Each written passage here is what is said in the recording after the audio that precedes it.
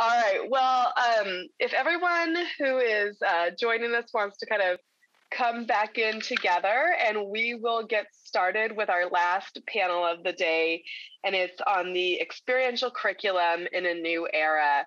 And and I think that this is a a fun yet difficult topic. And as Tracy and I were talking about the book, this was one that we wanted to be sure that we covered. I know when the pandemic hit in March of 2020, and and Susie, since we work together, can attest to this. I thought, oh, the ConLaw class that I'm teaching to my 1Ls, that's easy, right? I can get on Zoom and lecture.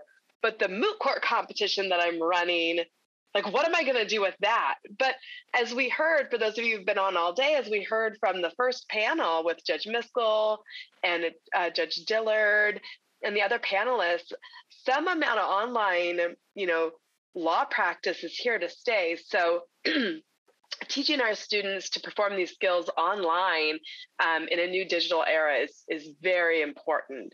So to that end, um, the Cooley faculty has been stepping up to be moderators. And so Chris has volunteered, Chris Church from Cooley has volunteered to be our moderator. Um, I'm going to turn things over to her. And Chris, I can help monitor the Q&A for you too. Okay, thanks very much, Tessa. Let's um, throw this up there so everybody can see it. Um, so welcome to the last session of the day. Uh, we're going to try and keep this very exciting and moving right along. We are all uh, professors that have taught simulation slash skills slash externs slash clinics um, and have been doing it online now for some time. And uh, just like Tessa was saying, none of us were used to doing this online. This is there. There are some courses that might you know might lend themselves well to teaching online. But, uh, and I can tell you within the last year, I've taught appellate advocacy, I've taught trial skills, I've taught interviewing and counseling. So it's just been really interesting to see all of the um, techniques that are available out there for our students. And so, what we've prepared for you today is really um, five separate uh, big ideas. Um, most of them come from the chapters that we've written in the book. Some of them we have sort of collaborated on them. And so, what we're going to do is run through these, spend about seven minutes each. But here's what I'd really like you to do because this is the last session of the day. I want to make this a little bit more interactive. So on the Q&A, if as we're talking about one of these concepts, you have an idea as how something that you've learned, something that you've done that you want to share, put it in the q&a and then at the end we're going to go through um, anything that our participants have added. There is a lot of wisdom in this virtual room. It's not just us right that has these ideas and then at the very end i'm going to provide you with the email addresses for each of the um, um, the presenters so that if you have any questions about that particular topic, you can email the presenter. So let's just jump right into it. Um, I want to introduce Melina Healy from Touro. Uh, she's going to talk about virtual and collaboration technology in a clinic. Go ahead, and I'm going to stop sharing. Okay, I think this is the best that I can do with my slides at the moment, for which I apologize, but it's great to see everyone this afternoon. Um, I have really enjoyed this conference. Many of the presenters have talked about uh, home and the challenges of being at home for us and for our students. And so I want to talk a little bit about how can an in-house clinic move beyond the physical space of your clinic home. And for me, one of the major lessons of the past 18 months is that we can really harness technology to enlarge our community those who we serve as clients, those who we educate as students, and those with whom we collaborate in in house clinics. So, before I proceed with my seven minutes, um, what is an in house clinic? Uh, very basically, it's that students work directly with clients, and that casework is supervised exclusively by clinic faculty. So the cases belong to and within the law school. Um, and so, for those of us at Touro, our in house clinic is a very community based physical space on campus. And you'll see on the left hand side of the screen, this is our beautiful uh, office building in central Islip on Long Island. We have thousands of clients a year. Um, and some folks walk in without an appointment looking for assistance. We're right across the street from the state and federal courthouses. Um, many of our clinics hold weekly local library sessions. But of course, all of that ended on March 17th of 2020. Uh, and I talk a little bit in my chapter about how on that same day I had to hit the road with my two little kids and stay away from my own home for five months because my husband uh, was redeployed to work in his hospital's COVID ICU. And so you see on the right here, I've done Draper style, added a family photo to my presentation. Um, because I, this just was a, such a tumultuous time for all of us. And I couldn't be in my personal home or my clinic home.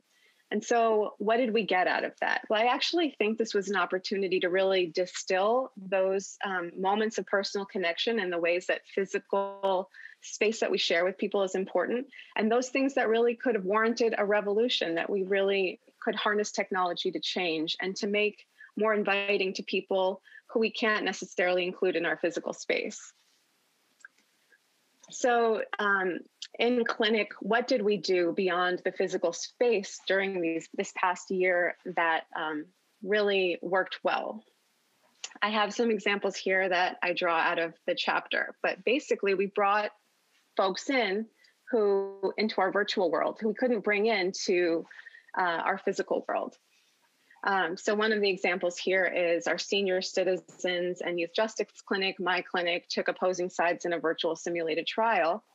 And we had former senior and youth clients come in as serve as our jury. We couldn't have done that in our physical space necessarily. We couldn't have had all those folks come together. So this picture here is a screenshot from that wonderful experience that we had. And I was struck with the first panel on, on practice and all the judges we heard from talking about some of the access to justice issues um, and can we get a more representative jury pool by by including technology in the courtroom and allowing people to access the courtroom virtually? Those were things we grappled with in clinic on sort of an incubator scale. And so we thought we thought through as as advocates what do we do to ensure that there is equity of access to technology? And how do we make this a better experience for folks who might not otherwise be able to participate in the system. Um, we also, I heard this from other panels too, which was great, brought in guest speakers from across the country who we wouldn't have been able to bring into our class. Um, but we brought them in, in in my clinic to be sort of consulting guest experts on our cases. And um, we also do a sort of a medical legal partnership model. So some of our clients, um, their mental health providers, were able to come to meetings with us and the clients to help think through some of the things we needed for our litigation strategy. Uh, we also, in my clinic, which is an education uh, advocacy based clinic, we're able to do interclinic case rounds with lots of other education advocacy clinics across the country. Um, and that's um, typically done in a very intimate setting within clinic, just on on the cases that the clinic is handling. But we got to identify with those other clinics um, shared patterns and injustices in the system that we wanted to address collaboratively, and that was also great.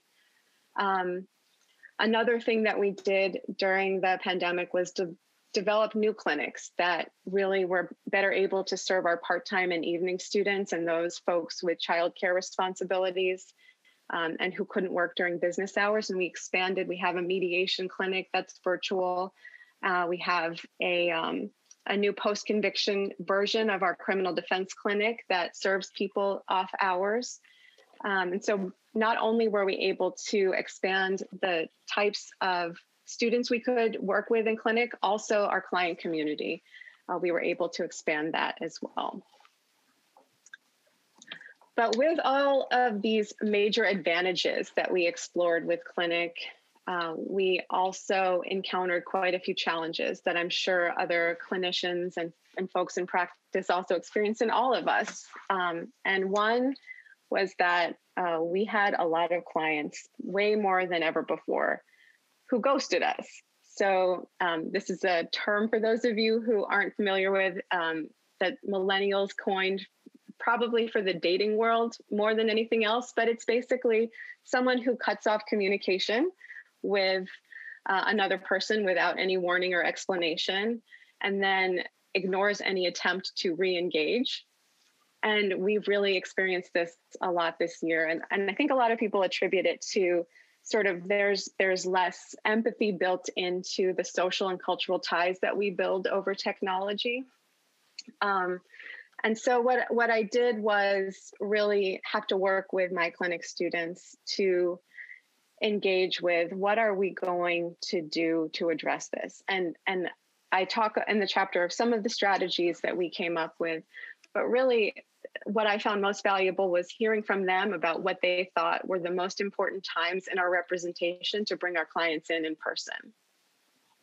Um, and so so there were there were some moments like when when is it important for you to see your client's space see their classroom if you're doing education advocacy? I also do prison work. Is it important for folks to see uh, the relentless dehumanization of a prison setting for our clients in order to adequately represent them? And when do we need to just if if there's a a pandemic going on when do we need to meet our clients somewhere outside in order to reestablish that connection and avoid this this sort of um, traumatic experience of ghosting. So I think my seven minutes are up, um, and I'm really looking forward to the other panelists and to hearing in the in the Q and A some of your ideas for what to do.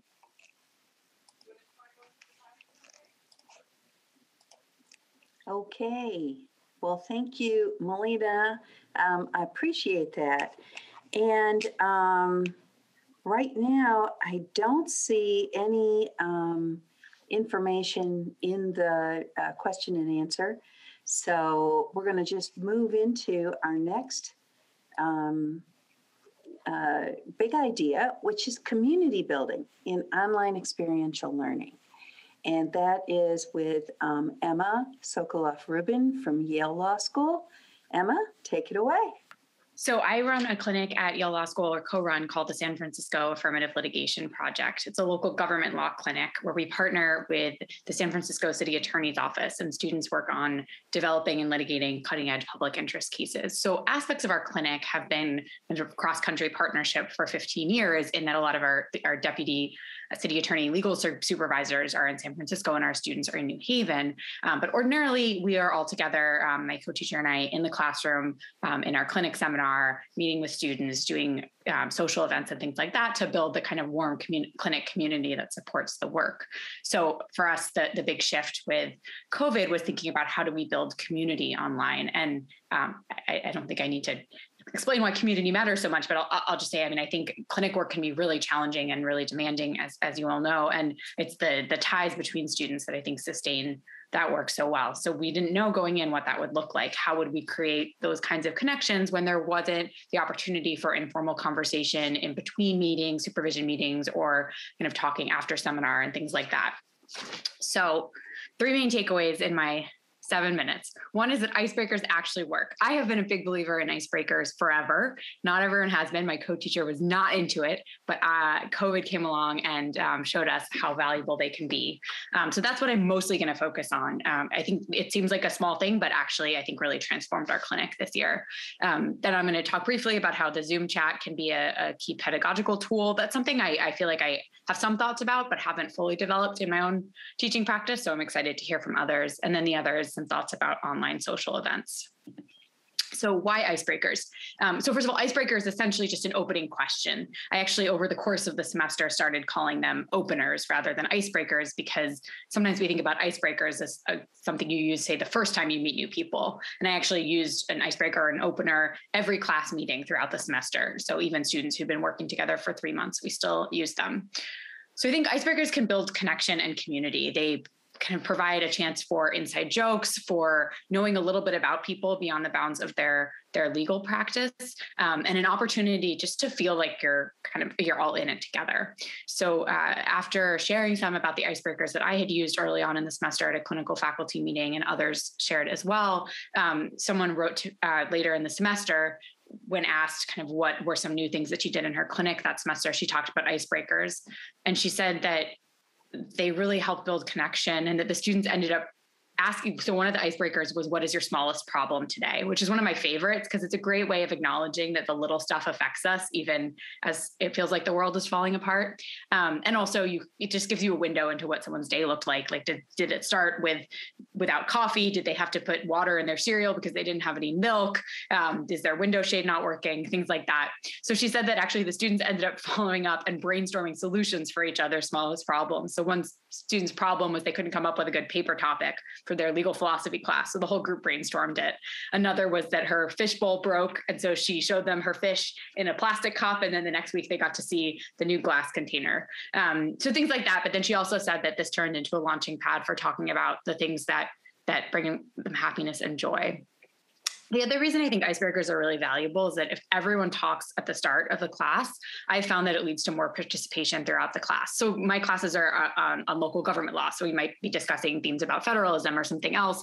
And having gone around and shared their most favorite meal or their smallest problem today or something like that i have found makes students who are less likely to speak up feel more inclined to just because they've they've literally unmuted themselves and use their voices. And I just think that that sort of breaks something of a wall.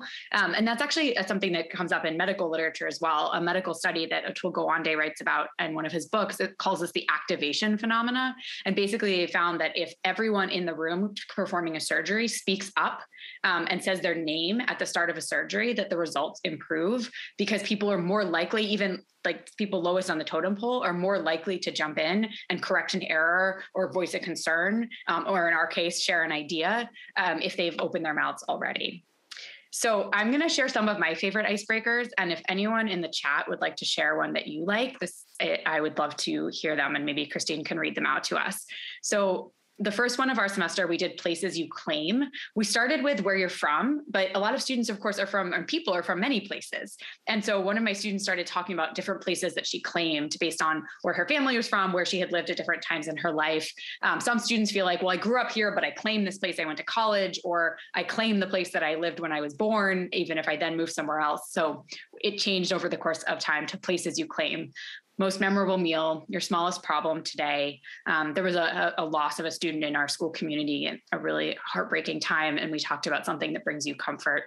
And then the most surprising job you've ever had. So I just want to share a couple of ideas for making icebreakers effective. One is to give a heads up. So at the start of a class, all students know to expect that I'm going to do some kind of icebreaker or opener, but I'll actually say what it is. And, or sorry, I'll first say, okay, I'm going to call on Rachel first, just so Rachel has a heads up. And then I'll ask the question so that Rachel has time to think for a moment. And then I will go first just to buy a little bit more time for everyone to think about their answers. Everyone participates. So professors, guests, I would sometimes, when we had guest speakers, which was something we could do very easily uh, being on Zoom, I would actually tailor the icebreaker to their interests. So we had a guest who was a real foodie. So we did that. Um, someone else who said, oh, I don't, I don't like icebreakers. And he said, okay, well, what do you like to do? And they shared a hobby that I was able to create an icebreaker around. Um, and that is also equalizing. Like it's not, it's not like, oh, well, I'm the, I'm the teacher and I'm going to have you all build community. It's I'm the te- I'm part of this community. We're all learning together and icebreakers are a way to share uh, something about ourselves in a way that still maintains, you know, professional boundaries. Um, and then just as a small but logistical thing that's really helpful, rather than pausing to call out people's names um, throughout using icebreakers, I'll just build out the queue in the chat. So I'll call on Rachel, say first, and then once as Rachel's talking, I'll type in other people's names. And so we would just rotate through that way. Um, and, and, another point on time, I, I, really built time into this. I would expect to spend a solid 20 minutes on icebreakers. Um, you can calibrate the icebreaker based on how much time you have. I actually increased the amount of class time we had last fall, knowing that I, I, I wanted to build into class um, stuff that would usually happen, you know, if we went out for pizza afterward as a clinic or just in casual conversations during the break. So then a meta icebreaker, my favorite last class icebreaker was share an idea for an icebreaker. Um, and so one student suggested what's the right way to unpack groceries, your dream job at age five, your favorite cheese or spread, or fandom level obsession. So these are icebreakers I plan to use next year. And I've also heard of clinicians who will have a different student be responsible for coming with the icebreaker each week. So that's another option to have it be student led. So shifting to using the Zoom chat, um, and again, this is something I, am just developing, but I was not at the start of things thinking that the Zoom chat would be particularly useful. I imagined it being more of a distracting side conversation, and I actually found the opposite. I found that it's a great opportunity for essentially for multiple people to get to talk and engage at once. Um, so students, I would model using it to voice agreement, enthusiasm, hesitations. I would try to use it myself early on in the class and to say to students like, "You're welcome to use this to um, share a link or some other other idea connected to it to say you have a question. Um, I also used it to provide additional context and ideas, particularly newer students in the clinic, because my clinic has one Ls through three Ls. So some students are in their fourth semester in the clinic when others are in their first. Um, I, I, would invite them always to send me a private message with a question, and then I would answer it for the whole class. Um, so it allowed me to explain key terms that I might not have interrupted say a guest speaker to explain what a particular acronym stood for, but I could do so in the chat.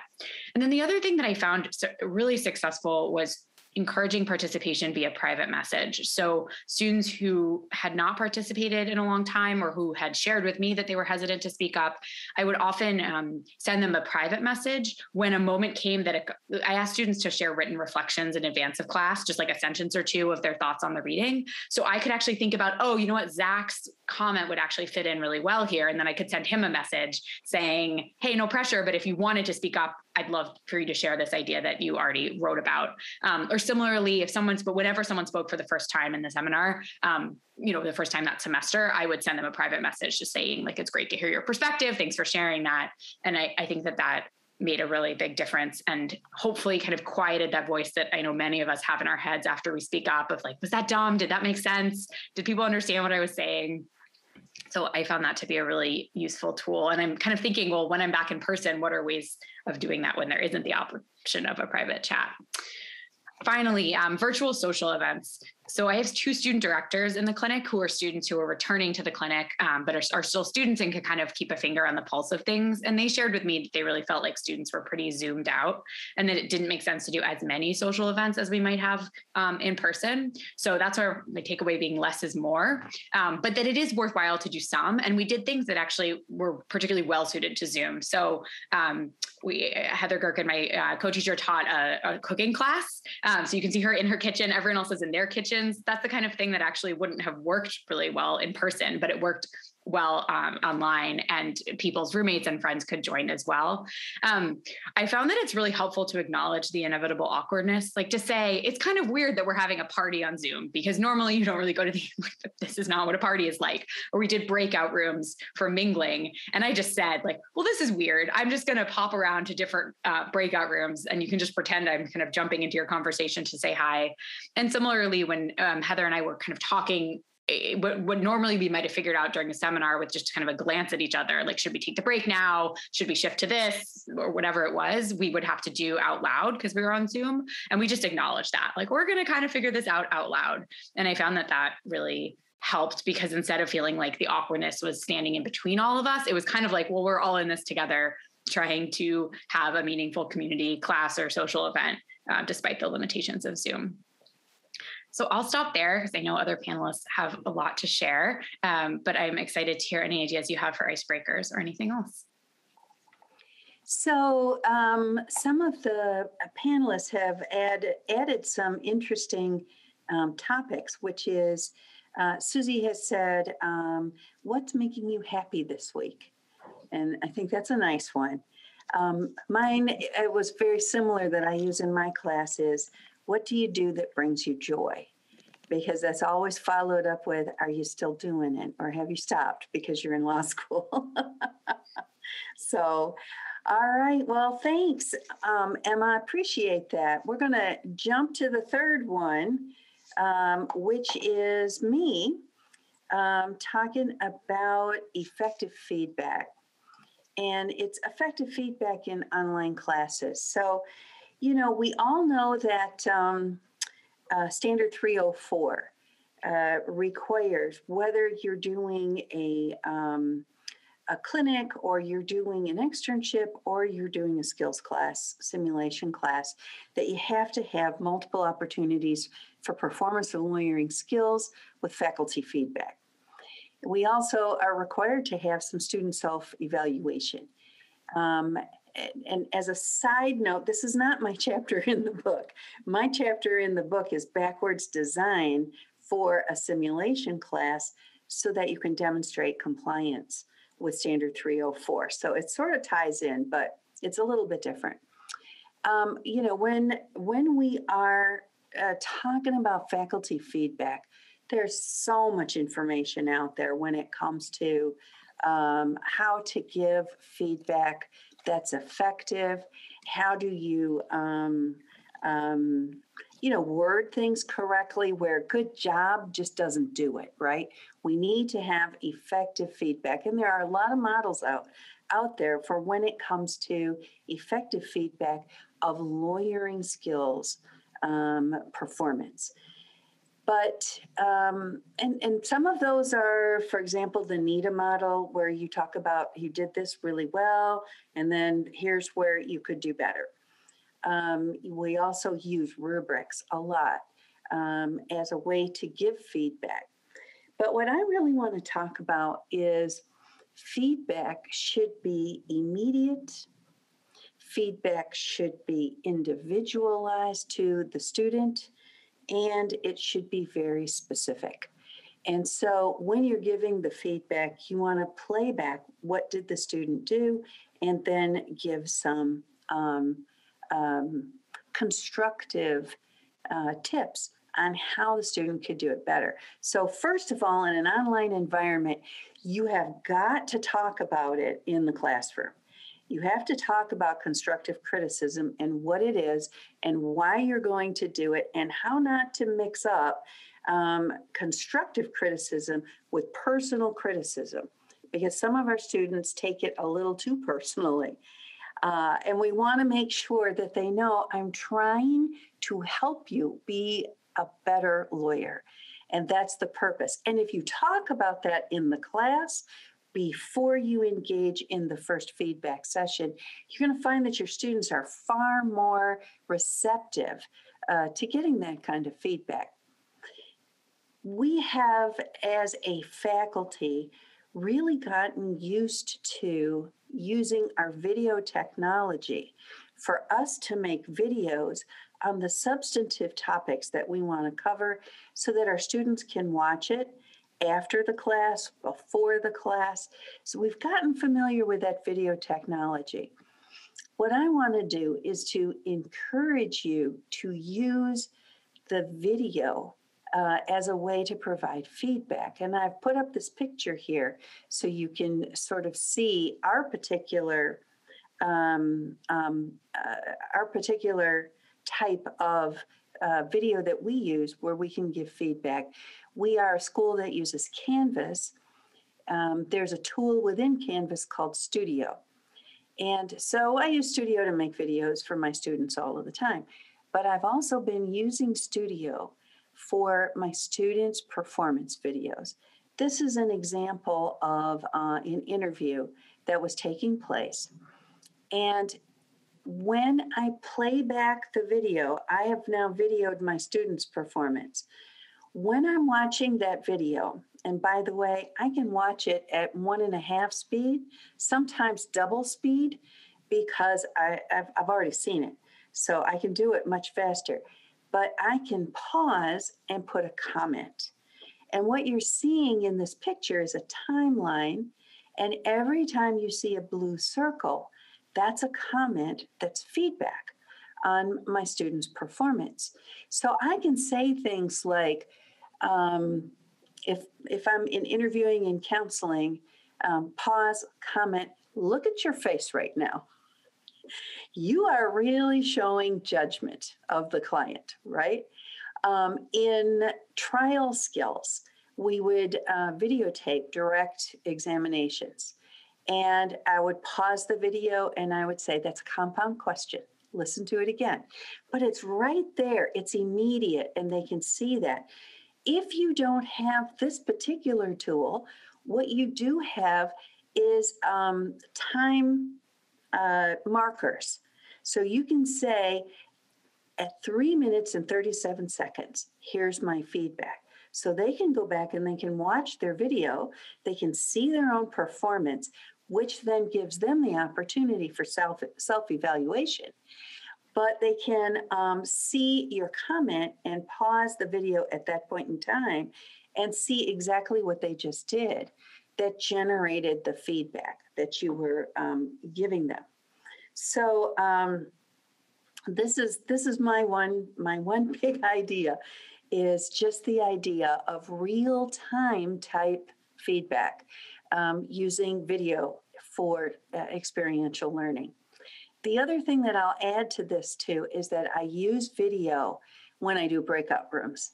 Um, so, for example, I'll have my students going to breakout rooms in small groups where they're going to process with each other and practice with each other before they practice in a fishbowl environment in front of the whole class. Um, and what I have learned is I set up these rooms so that they can record them and I can watch uh, their practices because what that does is it gives them some accountability uh, that in that breakout time they're not just fooling around, right? and they are actually um, doing some um, performances. So that's my big idea. Um, I'm going to move on to our next speaker here. And this is on training students to be effective online advocates, which is definitely going to be something in the future that is um, a, a very important lawyering skill. Susie Salmon from the University of Arizona, James E. Rogers College of Law. Um, it's your time. Okay, great. Thank you. Um, so I'm gonna you're gonna hear me echoing a lot of things that you've already heard, um, but that's probably good. So my big takeaway is, or my big idea is, we need to seize the opportunity uh, that's presented by this shift to online virtual advocacy to rethink, revisit, and re-envision how we teach oral advocacy in general. Um, so as we heard from folks on the first panel, um, virtual oral advocacy is here to stay, uh, at least to some extent, even before the spring of 2020. Uh, some courts were moving uh, some routine hearings online, and certainly ADR uh, proceedings have moved largely online because of the cost savings uh, that ADR is supposed to um, help create. Uh, so whether we uh, do small online oral argument exercises in a 1L class or send a team to a interscholastic competition, we should be preserving those opportunities. I know it's tempting with um, the litigation heavy focus of the first year um, to look at, and especially because you know, many of our students are never going to be litigators, and even those who are are never going to deliver an oral argument. So it's really tempting to eliminate that from the curriculum. Um, but I would argue that uh, now more than ever, we want to keep that in the curriculum. Um, there are a version of the role playing uh, simulation that that Ann Nowak talked about. It's a great opportunity for professional identity formation, something law schools traditionally struggle to teach, um, and for students to find their voices as advocates and as professionals. Um, it's it's the first time they really feel like a real lawyer in law school is when they get up there and they deliver that oral argument. Um, people in our first panel, I, I, think Katie Biber and Judge Diller talked about how adaptability and creativity in the face of adversity are essential lawyering skills. Well, oral argument teaches adaptability to be certain. Um, when you're pivoting to respond to um, unanticipated concerns from judges, you need that kind of flexibility, um, the nimble thinking, the ability to pivot from a planned line of argument um, to address. It teaches you to disagree with civility. Uh, which we've talked about as being a concern, um, critical thinking, professional judgment. Each time I turn back to this topic, I think of new reasons why we need to keep oral advocacy in the curriculum. Um, I ran into uh, a, new uh, idea. Professor Tori Randall, actually, I think uh, one of Christine's colleagues, um, spoke at the ALWD conference about using advocacy to teach women to uh, do business development. Um, so there are lots of opportunities. So, two things I want to encourage people to take advantage of opportunities to enhance diversity and inclusion, which many of our panelists have talked about, by rethinking the style and demeanor that we privilege in advocacy and the online environment creates great opportunities for that. And then also um, briefly opportunities to enrich the educational experience by taking advantages of the, the virtual environment. Katie Biber talked about how moving work to the virtual environment presented her opportunities to enhance diversity and inclusion in hiring. Um, the virtual environment presents some of those same opportunities. Um, moot court in legal education goes back to at least uh, 16th century England, um, but the traits and techniques many so-called uh, oral argument best practices foster go back even earlier uh, to classical Greece and Rome. Uh, classical Greece and Rome, which PS is a time when only elite white males and usually just elite white male warriors, were allowed to speak in the public arena. Um, so many of the conventions of modern oral advocacy, even in the 2020s, still derive from the values of a time when the quote, quote unquote warrior stance, uh, I think uh, the booming voice and the commanding physique, I think uh, Katie Biber talked about table pounding and loud voices, right? Which um, the virtual environment no longer privileges. Um, and so we should take advantage of that. Um, and, and, saying that's not no longer how you uh, are persuasive or communicate credibility. Um, you know, and, and it was it derives from a time when women who advocated in a public forum were considered um, they used words like unnatural, unwomanly, and shrill. Um, and again, um, as I'm sitting here, as we're all, I think, sitting here, um, we see that um, the presentation style in the virtual environment is very different. None of us are standing at podia, for example. Um, you know, we're not gesturing, we're not um, being really large and dramatic or loud you know, we're all being very low key, very reasoned, very conversational, um, which is definitely a style that we could privilege. Um, also, when arguments moved online, uh, you know, we had some panelists who uh, I think Trisha Martin and Susan Landrum in particular talked about how before the pandemic, um, you know, people with disabilities were told that certain accommodations just weren't possible. And of course, those are accommodations we're now making routinely. For example, um, having to stand to argue, which um, is very um, difficult for people with mobility impairments um, uh, all, all, along the spectrum, um, from people who can't physically stand for, to people who for whom it is difficult to stand. and then, as uh, David Lapp pointed out, everyone has the same sized box on Zoom um, which removes some of the subjective advantages of you know height and and other sort of physical communications of of that sort of warrior um, ethos uh, that used to be privileged. Um, you're not projecting to fill a cavernous courtroom, right? You're you're in fact that kind of projection can be kind of off-putting and not persuasive in the Zoom environment because it's so overwhelming. And then finally, uh, I want to encourage people to take advantage of the virtual environment um, you know, in ways that that that Melina and Christine just talked about. Um, bring in judges from elsewhere. Um, I know Tessa had two Ninth Circuit judges and a Fifth Circuit judge on our final panel for our internal moot court competition. What a great opportunity for a bunch of uh, uh, you know law students in Tucson that they wouldn't ordinarily have. Um, I was able to tap into former members of our ABA National Appellate Advocacy Competition team um, that um, to come and, and coach, you know, help me coach my team over the course of of the semester. That was a wonderful opportunity. And you can bring in subject matter experts, for example, if you have a problem that's on a particular um, substantive matter. Um, and then finally, you can get students comfortable. I mean, like Christine talked about, you can give individualized feedback on someone's oral argument. It takes a click of a button in Zoom, if you're doing your practice arguments in Zoom, uh, to record. And then you can use the type of technological tools that uh, Christine talked about uh, to give them very specific examples. I, I, don't know if you've ever been sitting there madly writing during a student's oral argument and then also trying to ask questions and then also trying to, you know, pretend like you're a real judge. Well, you can just sit back and take it in and then go back later and provide, oh, that thing that bothered me that I'm having trouble telling you about and you're not remembering, here it is, that facial expression. Um, you know that mispronunciation that whatever um, you know that that slight misstatement or or, or um, unfavorable framing of the law um, that's right here and here's where you can find it.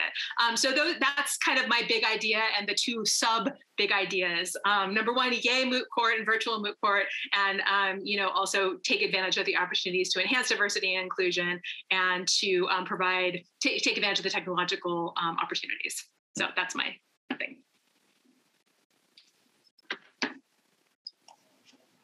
All right, thanks, Susie. Um, any thoughts from our other panelists? We're, we're sort of um, coming toward the end. We got Leanne, but I want to get a little bit because I think, Susie, you really talked about sort of bringing a lot of these things together. So, anybody have any um, thoughts on um, what what uh, what Susie was talking about with um, um, being an effective online advocate?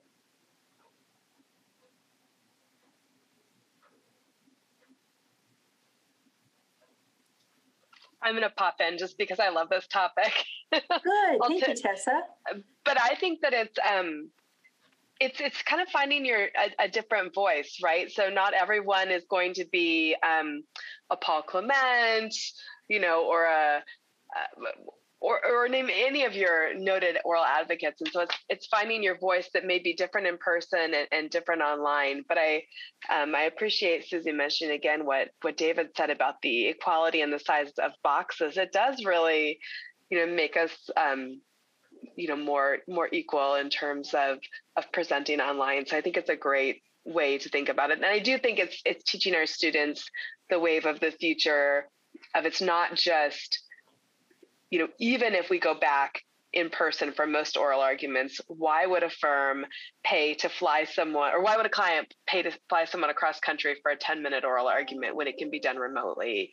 Um, and even the savings for the environment of you know fewer business travel and uh, there's just a lot of possibilities. So I was also thinking, um, Susie, I, I loved your your comments, and I thought that um, a lot of them apply to classroom environment as well. I mean, if you think about, uh, and, and, you may have mentioned this, but kind of oral ad, ad, part of being in a classroom and in a seminar is when every time you're speaking, there's an element of oral ad, advocacy there. And I think you're really right. There is something equalizing about having everyone be the same size on the screen. I also um, you generally ask my students to have their video on, but I've, I've told them that if for whatever reason, if they're not feeling well, if there's some reason that, or if there's something going on behind the scene behind them, if there's some reason that they'll actually be more able to be present with the, the screen off, that that's an option. And I found they, they really only took advantage of it when there was really good reason for it. And I think that that's another thing. Like we don't in life outside of uh, in the outside world, we don't normally have the opportunity to be present without also presenting ourselves physically. Which if you're if you're not feeling well, or you know that that can actually be really difficult to do. Um, and so I think there's a little more flexibility there in in, in how um, we present ourselves, and I think that can be a really positive thing. And Susie, I want to just mention I've been teaching appellate advocacy online for about five years now. Um, I started this as an online class because we have multiple campuses, and that way I could get enough students in my class, you know, to, to really have some robust oral arguments. But it became very clear to me that they needed some instruction on um, you know, how many of you have seen your students and you can only see them from like here up, right? Um, and and then there are some laptops that actually have the camera way down at the bottom, so you're practically looking up their nose. Um, and and so I wanted to give them some instruction on um, being able to effectively present online. And so they need to dress appropriately. And then we go into some small groups where it's four students and they have to comment on each other. Um, do I have a good shot of you? Can I hear you fine?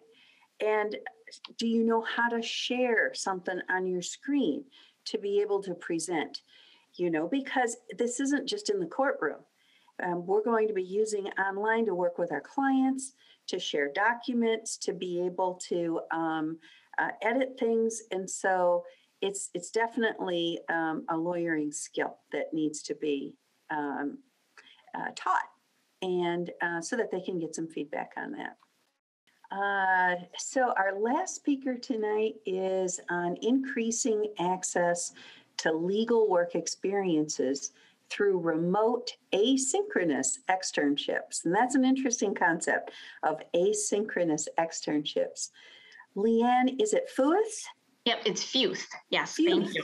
Uh-huh. Excellent. I just want I want to pronounce your name right. I think that's something really important, particularly in the online environment. Yeah. So Yeah. thanks um, and jump right in. All right. Well, thanks everyone. Thanks, Christine. Um, what a, a privilege to be part of this discussion. These are some fantastic ideas that everyone is sharing. Um, my big idea, as uh, as Christine said, is to talk about how we can use remote asynchronous technology to increase access to extern- externships and opportunities for students uh, to gain real world experience. And the chapter title in the book is uh, Blended Externships. Um, special thanks to Tessa and Tracy for all of their hard work on putting the books together, the book together, particularly through uh, COVID and everything they were dealing with. I have to imagine at a couple of points in time, it felt like herding cats, I'm sure. So um, I also want to acknowledge my co-author, Denise Roy. Denise Roy is um, on the faculty here with me at Mitchell Hamline. Um, she is also our externship director, and um, she could not be here today, but uh, we it was very much a partnership in putting this chapter together. Uh, before I kind of get into this idea about using remote asynchronous externships to increase access to work experiences, I just want to um, provide a little background on both the perspective I bring to this, as well as the perspective of Mitchell Hamline, the law school that I'm at. Um, I am on the faculty. I teach in our doctrinal and skills courses. I teach in person, online, and blended courses, externship courses, as well as others.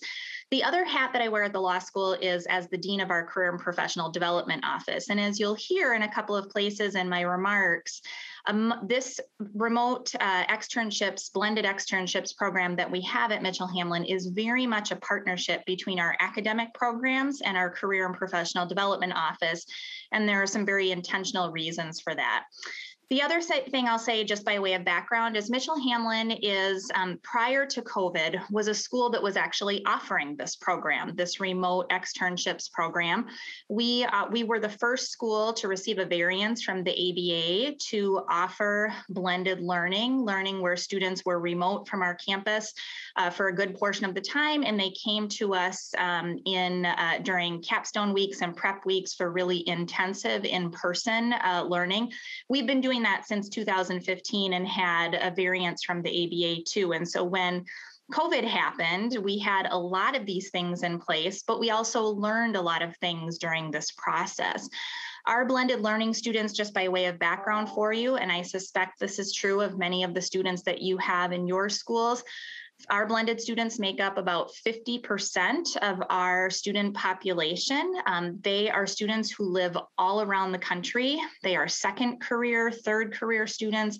They are juggling full time jobs, families, uh, significant professional commitments.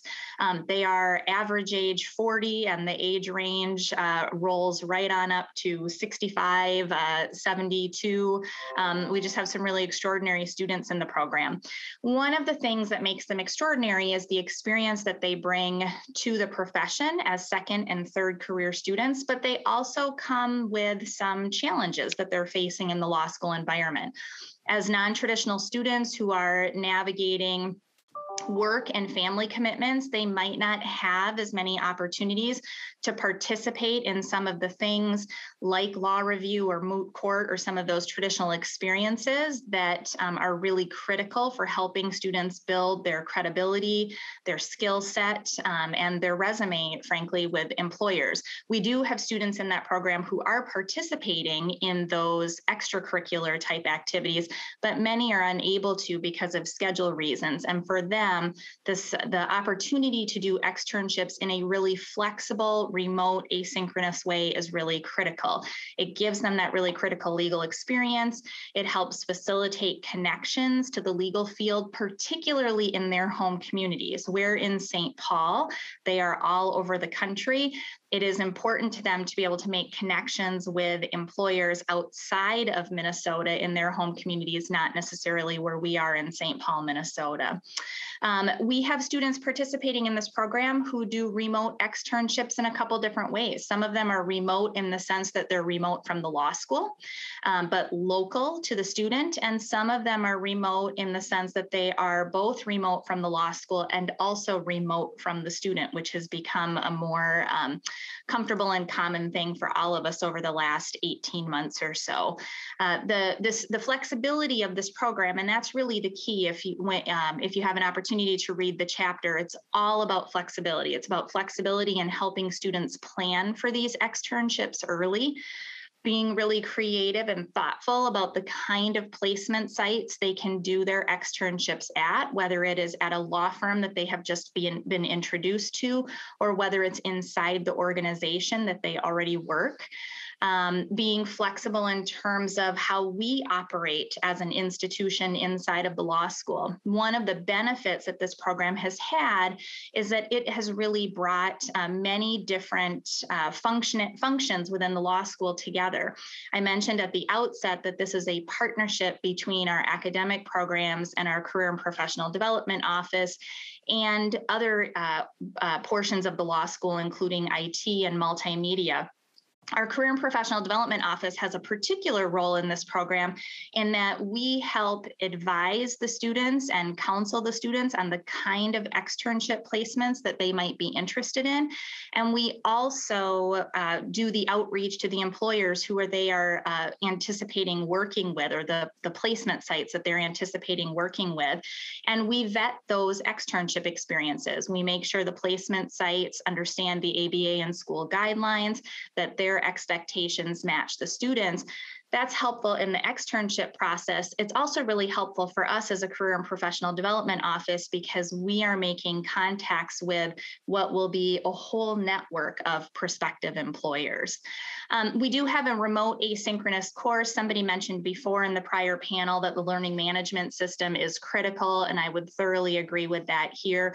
The course is organized into modules so that students can connect with the course um, in sort of the sequence that their externship internship starts. A, their one particular student's placement might start at the beginning of the summer, and another student's placement might not need them to start until a third of the way through the summer, for example. And so they can engage with the course because of the remote asynchronous format and the modular design when their particular work placement is ready, um, ready to begin.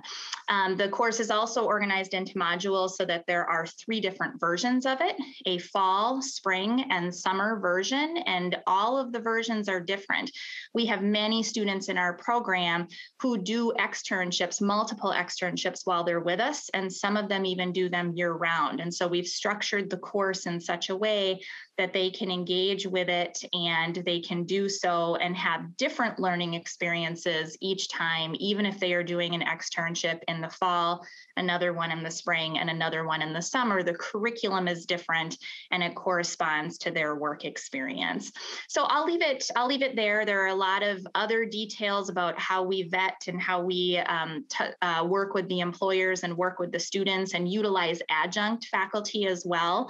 Um, it's been a really interesting interesting uh, program for us to to um, launch. And as I said, it started before COVID, but there have been many things throughout this process um, in the last 18 months that have really enhanced our understanding of what what students need in this regard. So thanks for the opportunity to share the idea.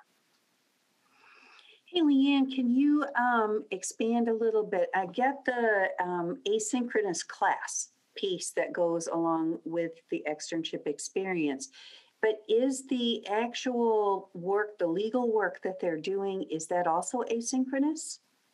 The legal work that they're doing is um, it with their placement is live, right? They're do it might be remote from the placement, but they are doing it live with the placement. So we have students who are, um, uh, you know, whether they are in person or remoting in with the placement, they are attending hearings, they are doing legal research, just in the same way that other externship students uh, might be engaging with more traditional format externships. But the the seminar component of it is remote, and the ability for the students to either work remotely or in person person with their placements is um, where the critical piece of flexibility is needed? It's a great question.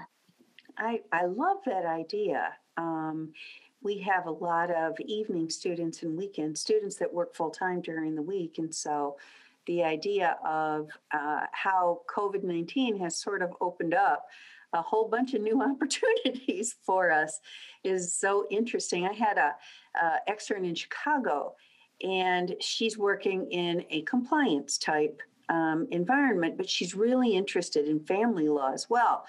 And so I was able to um, connect her up with the um, the link to go into the family law trials and watch some family law trials, which we would never have been able to do, you know, before uh, COVID. So it's it's given us a lot of very very interesting opportunities.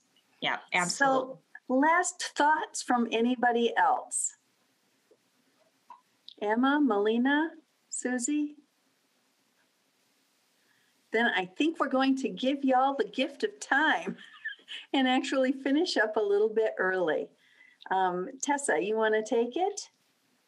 Actually, I'm going to turn it over to Tracy, Tracy. who um, if our panelists from the last panel want to go ahead and turn off their videos, we have some closing remarks, and I'll, I'll let Tracy introduce our last speaker. Thanks, everybody. So it is it is my uh, profound pleasure to introduce um, my friend Patricia Salkin. Um, Patty started out um, I don't know how many years ago, seven, eight years ago, as the dean at uh, Touro Law Center. Um, and her extraordinary um, skills and abilities quickly got the notice of main campus where they snapped her up and she is now the um, provost. And so we have our own advocate in the on main campus um, in the form of our former dean and colleague patricia salkin um, uh, when Patty was the dean, she was really instrumental in moving us forward in online education and in smoothing the way for us through resources and encouragement um, to try new things. And um, she was especially supportive of innovation um, on the faculty and continues to support us from the from the main campus. Um, so I'm delighted to introduce Patricia Salkin to share with us her closing remarks. Well, uh, thank you, Tracy, and, and congratulations to you and, and Tessa for pulling this all together and pulling the book uh, together. I can't wait to see it actually uh, in print. I recognize that uh, we lost a lot of people during the day but this conference has just been a wow. And I know that everybody wants to get to dinner and other things, but let me just see if I could wrap up uh, some of what we talked about today. First, I just want to say that Touro is really proud to join Arizona in sponsoring uh, today's program.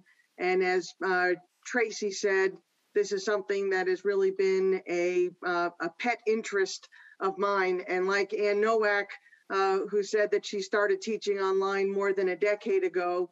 Um, I did as well. And um, I loved it then, and I love it even more today, and love it that more and more people are accepting of what people were naysayers about uh, more than a decade ago. So, uh, you know, the whole concept of lawn technology has always been forefront in my mind. And as Tracy said, I had the opportunity when I got to be the dean for that uh, too short period of time to, to really try to um, put my effort and energy where my heart was and where I really believed that the future was going. And maybe I learned it from decades ago when my kids were even in late elementary school. And I would say, You want to call your friends for a play date? We don't call, we text. right? And so all of a sudden, the communication platforms were changing, and I couldn't understand it then. Um, but of course, we've all caught up to that now. When social media first started to explode, you know, I'm a land use lawyer, a state and local government uh, lawyer. I co authored a book uh, with an attorney in Chicago for the American Bar Association on ethics and social media for municipal lawyers. Because when we communicate in a different fora, as some people pointed out today, there are different rules of etiquette and there are different expectations and different standards, and we all have to be aware of that. There were so many great takeaways uh, from today, including a lot of gems on pedagogy and great points about skills and awareness that our graduates need for practice. We started with a panel on the future of the profession, and while nobody has a crystal ball, it was clear that we should be prepared to be in person, remote, and hybrid. And remember, we, didn't really talk a lot about this today, but there's been a lot of pushback about teaching in the hybrid uh, format. But all of this means that uh, we have to be able to work with colleagues, with clients, with courts, with witnesses, with juries, and with others in all kinds of modalities. And we may not be able to be the ones individually to call the shots on what that modality is going to be. There was a lot of discussion today about students and their use of technology. And I think that most of the students have long been ahead of us, except I agree that we also have to be mindful about equity issues that many people raised today. Another lens that um, through which I have thought about technology, and I don't think really mentioned uh, specifically today, but apparent in some of the discussion, is how technology enables and in some cases invites or even demands something called the gamification of education. Our students want to be entertained, and it's no longer entertained by the sage on the stage. It's no longer entertained by telling a joke um, or trying to make some comparison at the beginning of class to the weather or something in current events they uh, have a different brain wired differently and they want to use their hands they want to use their minds they want to use their eyes they want to see things they want to hear things they want to touch things. It's not the same way as it used to be in the classrooms that many of us um, were in ourselves. And from an equity issue as we're thinking about technology let's not forget about what i think i heard some of you start to demonstrate in the later panels but we really need to be using open educational resources to replace casebooks. And I'm speaking about this as an author of a casebook that is way too expensive for, uh, in my opinion, for students to have to buy. Um, but the material is all there. We have to create a movement. And I think that this is the group to do it, to start to create um, the open educational resources. I don't even want to call it a casebook because I don't want to suggest that it has to be published by one of the commercial publishers per se, even though I know that we have a book today that's been uh, published by one, but we have to think about ways to reduce the cost of legal education. Technology can help us in this particular regard with respect to what materials we require our students to purchase, because quite frankly, listening and seeing all the things that everybody is doing in their classroom, there's a boatload that we can do without the students having to spend um, an extra penny on additional resources. And uh, technology and boundaries, another theme that came up today. Um, this was an interesting discussion and it flowed through a, a number of different panels. And I see it also in a different way. I teach land use every year. And one of the things that I discuss with the students is okay, so nobody wants to live near a cell tower but nobody wants drop calls and everybody wants access to their landline, which the landline is now the cell phone um, all of the time. We need to check our own expectations, and this is societal. I don't think that this is just within the legal profession, but we have to uh, check our own expectations with respect to quick replies in the technology age. Um, if we want to turn off our phones, if we want to not have our email go to our phone so it doesn't beep uh, when we're on vacation or when we're uh, off hours and particularly on the weekends, then uh, we have to create that environment again within the profession and the expectations. People talked about burnout. Um, burnout is not just prevalent in the legal profession, and we've been talking about it long before uh, COVID and even technology. But I think with the legal profession, as I was listening to everybody speak, you know, we chose this profession or we had a calling to this profession. It's stressful because of our duty to our clients and our passion for justice, and quite frankly, our nature of wanting to win. And so, in order to do that, we're always putting ourselves out more than 100% for whatever we do, and that contributes to burnout as well. We have to discuss two other items, uh, as today I think the speakers have demonstrated the utility and the quality of how we can use technology for pedagogy and practice.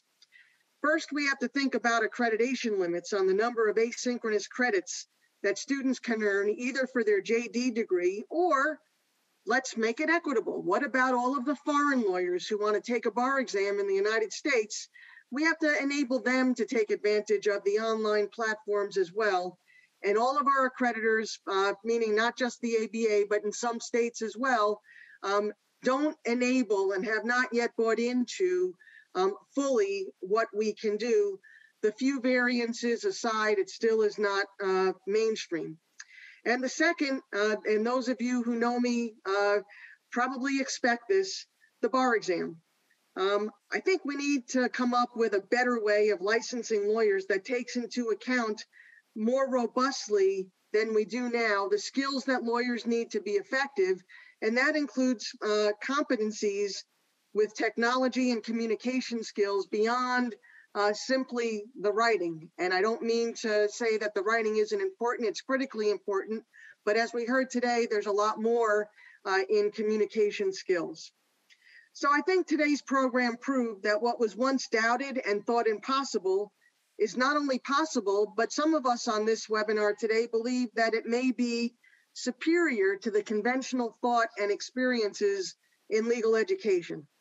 So in conclusion, I want to thank you all again for sharing your best practices, your experiments, and your future plans. I want to thank you to our colleagues who spent the better part of the day soaking up the great information. We've learned a lot, and we're not yet done. Lawyers are leaders and innovators, as somebody said earlier, and that's what we're doing in pedagogy and in practice. And one of my uh, sheroes, the first woman to be admitted to the bar in New York, Kate Stoneman, who had to go to the legislature to get the law changed in order to be admitted, she said you have to take your opportunities when they come, and there are always opportunities.